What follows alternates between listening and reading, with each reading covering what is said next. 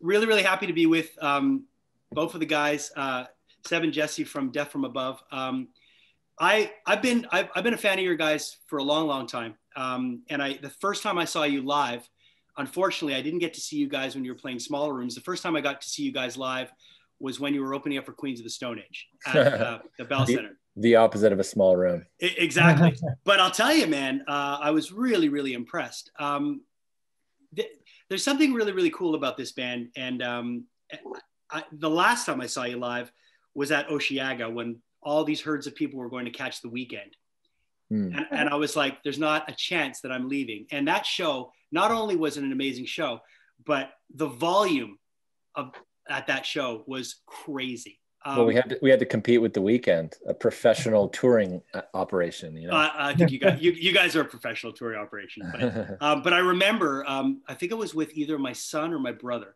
and we were watching the show, and I couldn't believe how loud it was for two people on stage. Uh, first of all, whoever was mixing you that day, I don't know if, they, if they, I don't know if it was so, it was something that was intentional, but um, the sound that comes off you guys when you play live is just is like like no other. Um, well, the less the less sounds are competing, the louder the sounds you have can be. Right. Right. You know? So that's our we have that to our advantage.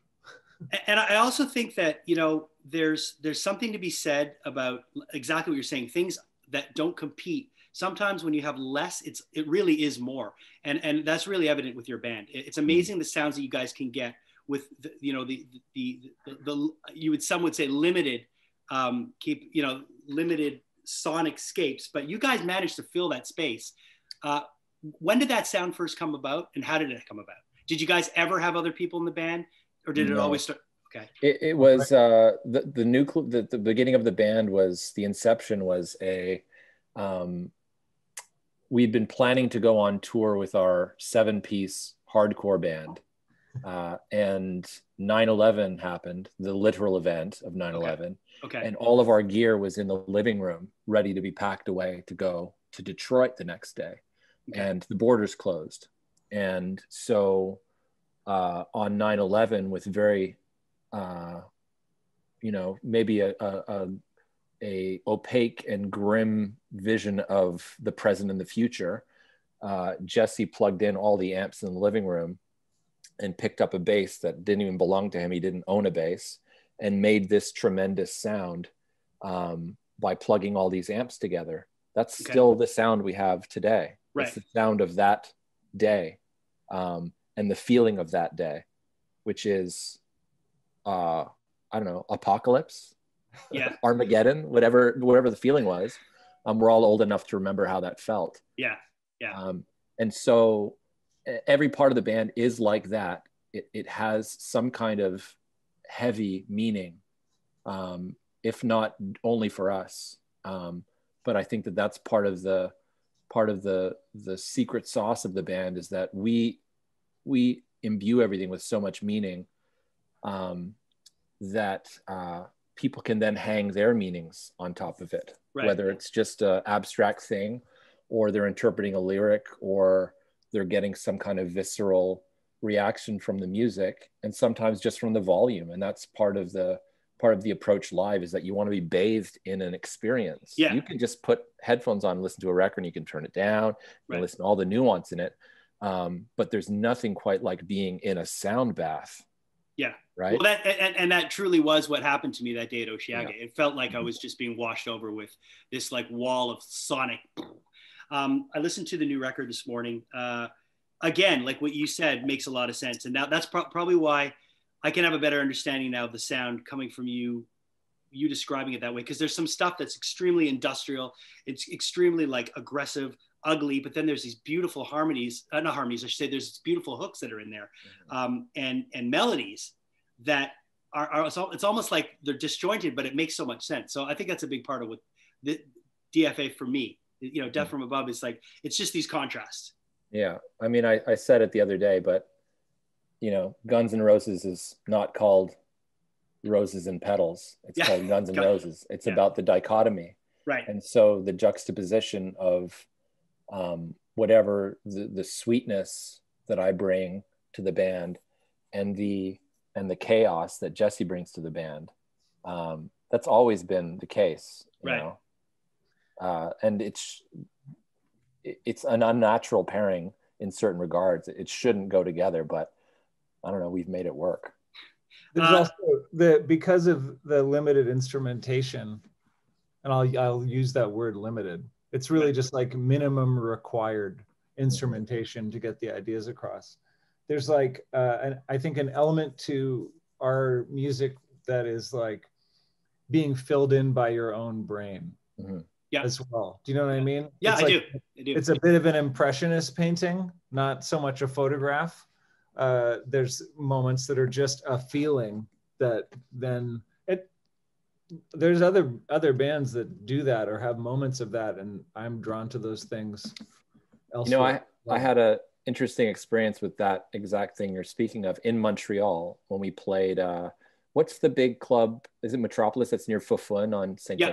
Yeah, well now it's we- called the it's called the M Telus now, but Metropolis. Oh yeah, yeah. Well, I'll call it. I'll call it Metropolis. So will I forever, forever, forever. um, we played Metropolis and um, and we went to Foufounes after for beers with a friend of mine um, who lives in Montreal. This uh, she's a, a, a contemporary dancer named Helen Simard, and uh, I, was disappointed in my performance. I thought I didn't sing well. I thought I didn't play well. I screwed up a lot. You know, I had a really like bad after show feeling, and her and her husband were so excited for the show. They they love coming to the shows and they were like stoked, you know. And and here I'm like, I didn't do a good job.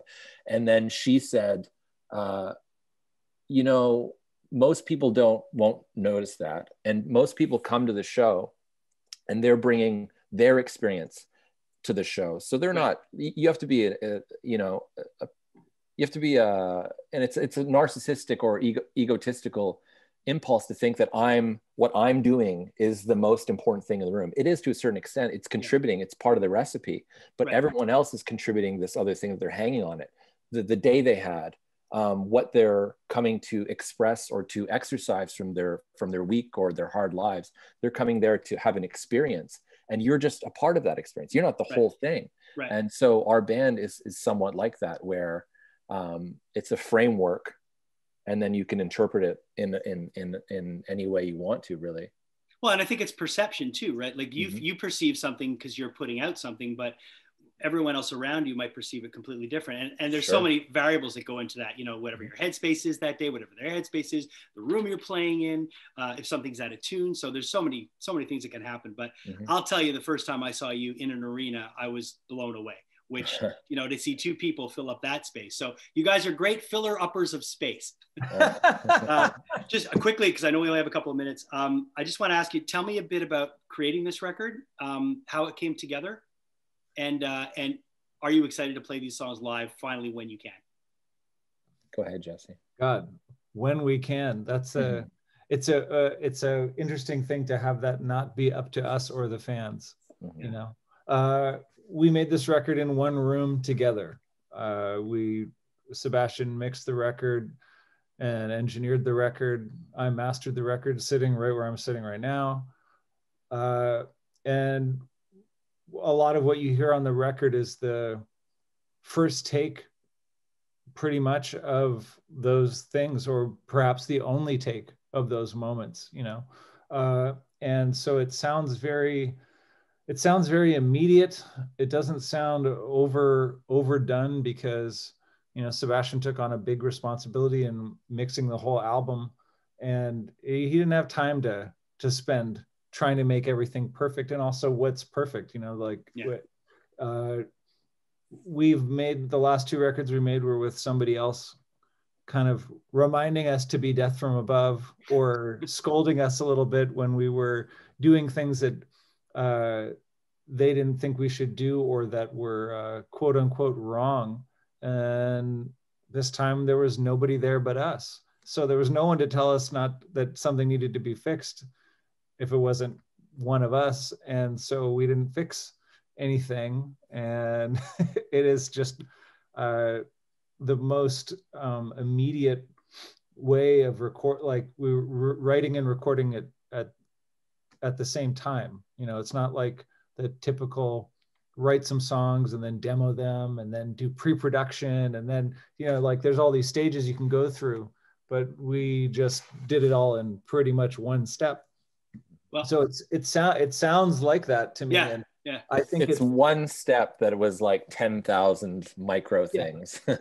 but normally the you yeah. know like the standard way of of that people end up making records to you know how many writers are there on those Weeknd songs yeah there you know, it, it, was how, uh, some some of the writers are Michael Jackson, but by the way, yeah. But, uh, how, how many how many people are involved? Yeah. Whereas it's this record from beginning to end is you're talking to it. Yeah. You know? Well, I'll, I'll, I'll, stick with you guys. Thank you.